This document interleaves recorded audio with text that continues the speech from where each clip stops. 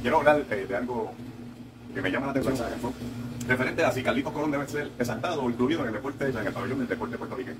Yo yo, creo, yo entiendo que sí, a Carlitos Colón lo deben de incluir en el Salón de la Fama del Deporte Nacional. Y vamos a olvidarnos aquí que la lucha libre sea deporte o no lo sea. Aquí lo que hay que mirar es la influencia de Carlos Colón a través de la generación.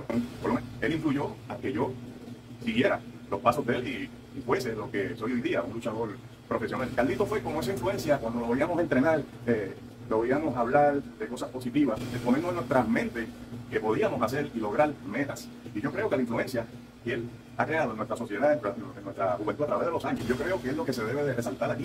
Yo sí apoyo que la organización del pabellón del deporte nacional eh, incluya al señor Carlitos Colón en, en, su pabellón del deporte.